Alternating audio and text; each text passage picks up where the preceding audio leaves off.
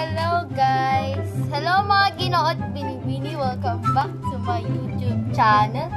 And ito na naman si Ida, lagi daw sumusulpot minsan, di ba? So dahil, so dahil nga, pinanood nyo ang 20 care package ng Cord, which is kasama sa Ida ng birthday niya, hindi yun tapos dahil 8 care package lang natapos namin.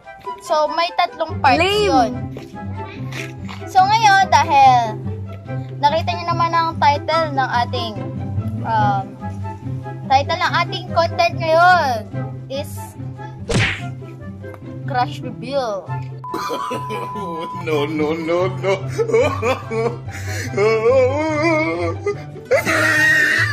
Kaya kung ano yun, kaya ko i-censor yun.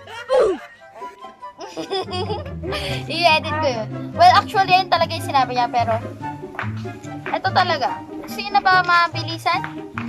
No. Mabilisan kong sasabihin. Kwentuhan Pero magkwento muna tayo. So, anong gusto mo ikwento, Hayden? Wala. Ah, ito. Birthday ko sa December 17 and di ko alam kung saan ako pupunta eh. Di ko rin alam kung maghahanda ba or simpleng day lang. Story ba yun? Oo, oh, story yun. Kinikwento ko kung kailan birthday ko. Ako meron. Anong kukwento mo? Meron akong si...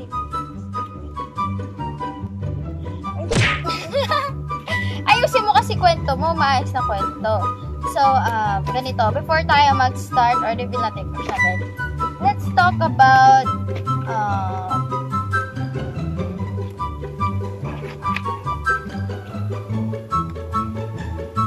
OMG, hey, nag-isip ako. So guys, ito, bago ko i-reveal, ginawang bagong bahay sila Hayden, which is this. Hindi pa siya tapos, pero tara, pasok tayo pa. Hindi tayo makakapasok dito. Tingnan natin. Ay! natapilok, natapilok. Ay! Ay! Dali mo Hayden. Ay, nakalock! Nakalock daw one. Oo, oh, kala ko nakalock. Oh, tara, dito tayo. So guys, pagpasok nyo, yan siya. Yung kabuuan niya is maliit. So, nagagandahan ako dito, banday. Kasi kapag natutulog ako, nakita ko yung stars. Stars ko yun. Oo nga. Star. Oo, di ba? Ang ganda kayo ng view, di ba? Nagagustuhan ko lang yung bathroom. Oo, oh, nga pala may bathroom pa. Tingnan nyo guys yung bathroom. Ilang beses na ako naligo dito sa bathtub. Oo, di ba? Ayun na, oo. si ina ngayon eh. Ay! Censor mo. Papanoorin mo, titingnan mo kung sinensored ko. Ito, Jeff. Mag-subscribe ako sa'yo. Oh, sige, sige, sige. Sige, isa-censored ko. Hindi naniniwala sa akin si Aiden yung tingnan mo. Naniniwala ka ba o hindi?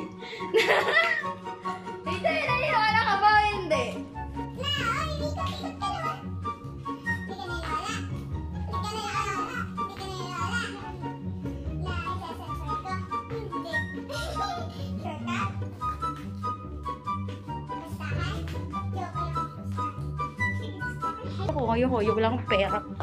Meron. Isang piso na pwede na.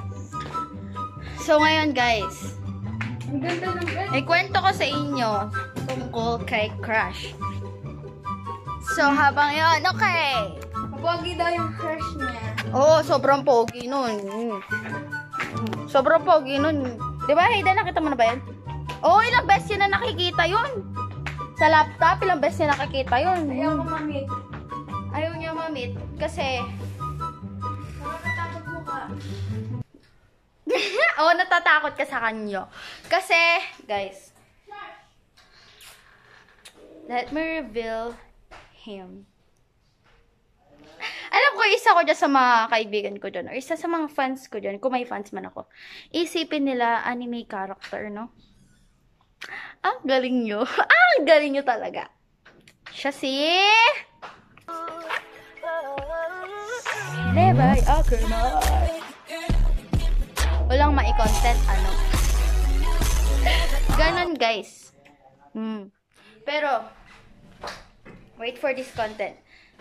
Um, siguro, next, next month siya,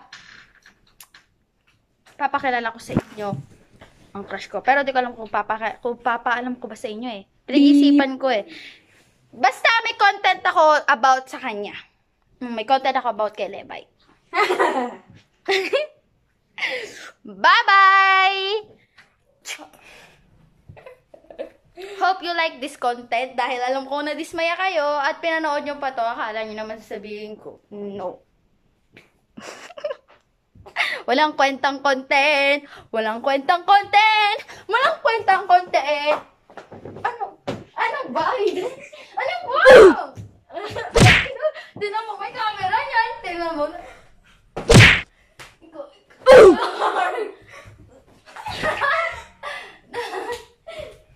Doon na! Ayoko na, ayoko na. Diba, ang kulit niya na yung kulit to. Ang kulit to. No! Mahulog ako. Mahulog ako sa kanya.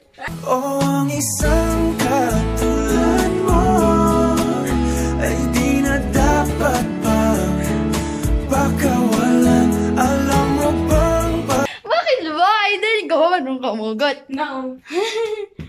Sige na nga, wala nang masabi kaya wala nang pinagsasabi-sabi.